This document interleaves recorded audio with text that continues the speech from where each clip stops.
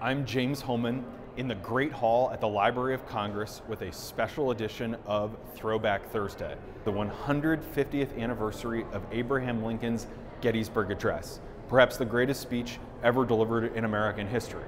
Of course, the 270 words are etched in stone at the Lincoln Memorial, and the speech was actually delivered about four and a half months after the July battle in Gettysburg, Pennsylvania, a few hours north.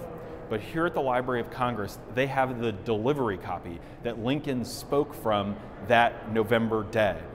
The first page is written on Executive Mansion stationery in ink, and the second page is written on what they would have called foolscap, more like a legal size piece of paper today, and it's written in pencil. We know Lincoln started working on the address in Washington, which would account for the Executive Mansion stationery and the ink, and also he's not made any crossouts in ink on the first page, suggesting, suggesting he had worked through his ideas and was happy with how the text of that first page was going, but probably took that to Gettysburg with him and then decided in Gettysburg to change the ending. So he would have taken out another piece of paper, probably had a pencil with him, and started writing out that new text on the second page.